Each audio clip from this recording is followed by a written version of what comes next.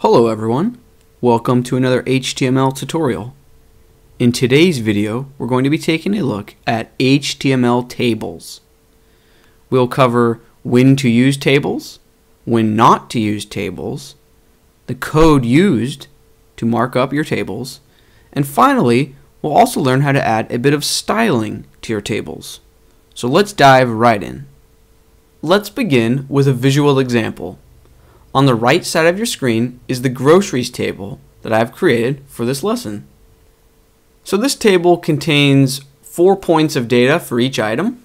For example, uh, our first item, its name is milk, its price is $3, we only want one of them, and it's on aisle A3 in the grocery store.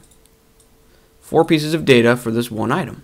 We are using a table to mark up this data in our HTML because this is tabular data.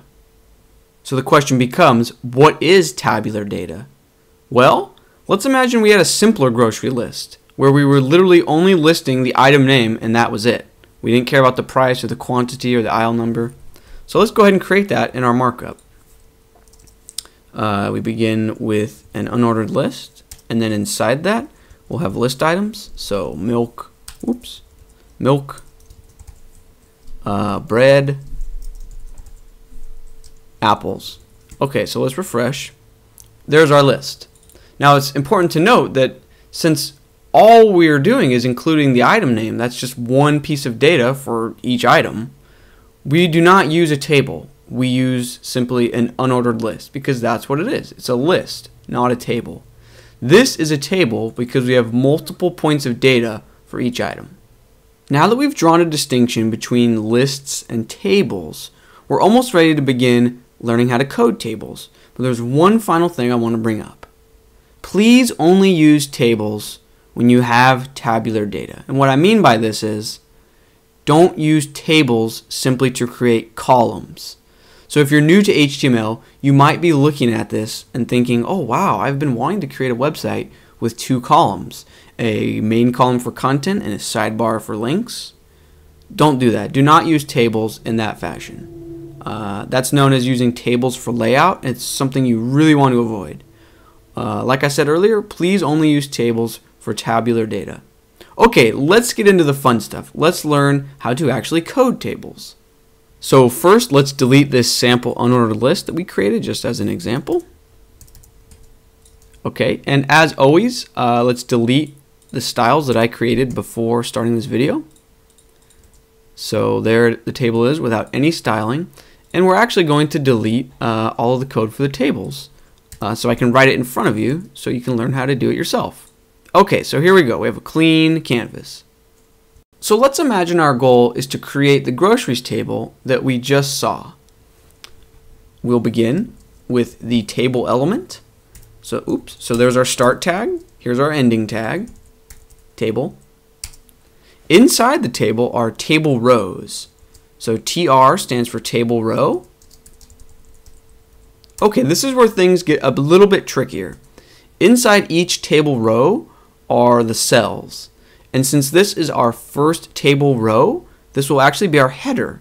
So this is where we include the labels for each column. So for example, TH, table header, item name, then close the table header. Okay, the next column will be price. So TH for table header, then price. And then we close it. Uh, the next column is quantity. So TH quantity, close it. And the final row is aisle number. So TH aisle number, close it. Okay, so let's save this and refresh in our browser. Uh, we can see there's no styling yet and there's no content, so it's hard to see, but we do have four columns. Item name, price, quantity, and aisle number. Great. Now that we have our labels, our headers out of the way, let's go ahead and add our first actual grocery item. So in our markup, we're going to create a new row. So we start a table row and we end the table row. Okay, now instead of table headers inside the row, like we used above, we're now going to use TD, which stands for table data, right? So our first one will be milk,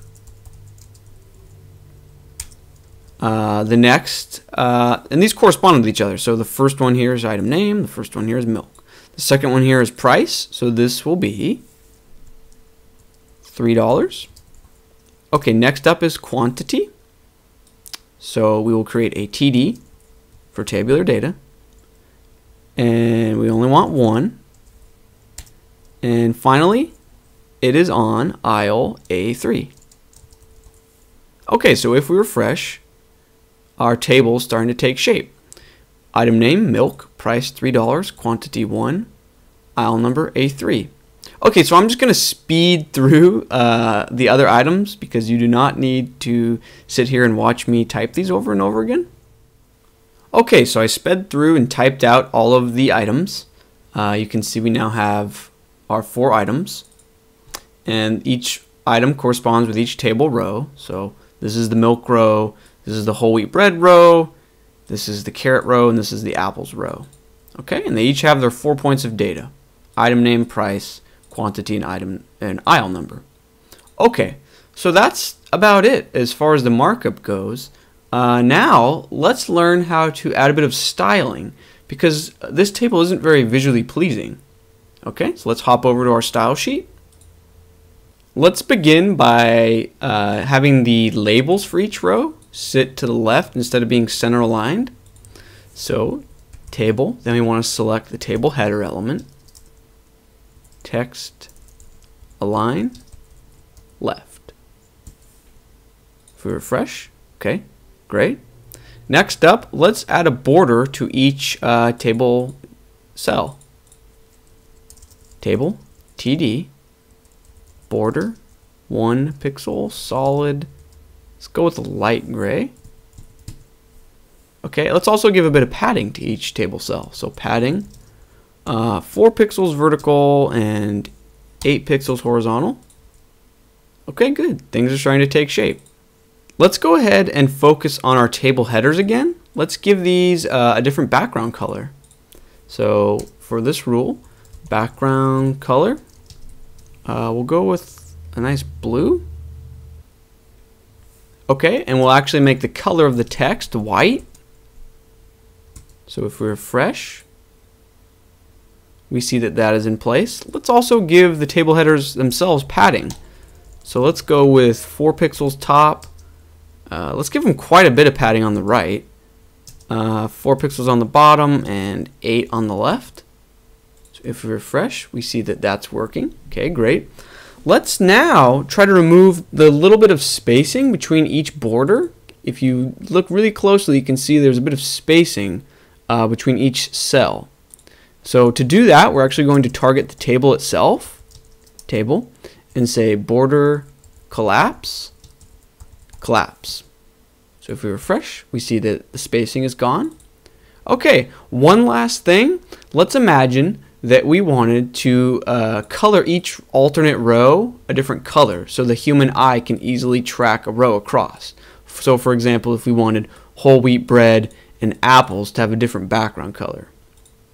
Now this will work in all relatively new browsers and it will work um, on every iPhone and Android smartphone device. Uh, this will not work in older versions of Internet Explorer. Um, in the future, I can show you ways to get it to work there as well. But for now, you can type in table. Then we want to select every other table row.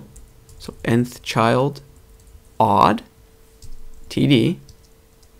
So what this selector is basically saying is drill into the table, then every other table row, then go into the td element, and then we're going to say background color